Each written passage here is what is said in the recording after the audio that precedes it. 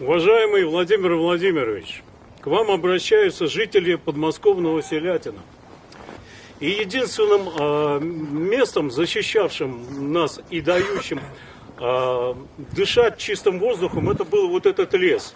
А в ближайшее время, э, в связи с развитием таможенного терминала Агрохаб, предполагается, что количество фур возрастет до 3,5-4 тысяч в день. А, Селятина нуждается в объездной дороге.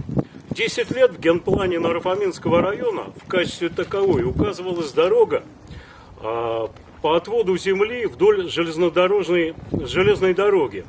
Были разработаны еще два варианта через промзону, но бессовестные дельцы не хотят а, хлопотать и согласовывать эти проекты.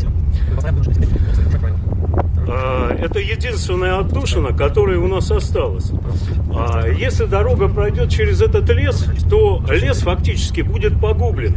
Потому что, кроме того, что вырубит много гектаров, это не меньше, чем 20, а, дорога и лес превратятся ну, в помойку и в туалет для водителей фур, что в чем мы неоднократно уже убеждались в самом поселке. Осознавая все это, администрация Нарафаминска и правительство Московской области, тем не менее, полностью потворствует этим дельцам и игнорируют требования жителей. Проект объездной дороги через лес не решает проблемы, а только усугубляет. Им проще сэкономить на нашем здоровье и комфорте. По новому плану непрерывный поток фур будет двигаться вот за этим госпиталем за больницей. За...